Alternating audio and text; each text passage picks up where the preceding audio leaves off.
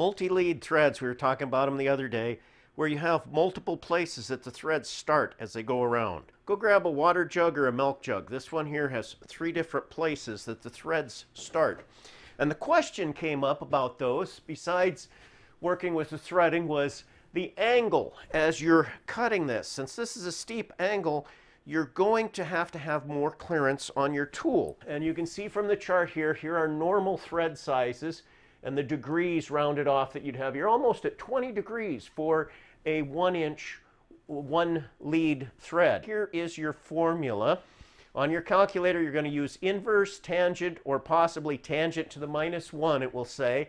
And you're going to have your lead, which is just the inverse of your threads per inch. You're going to have that over your diameter times pi, and then you're going to look for your inverse tangent, and that will give you these answers.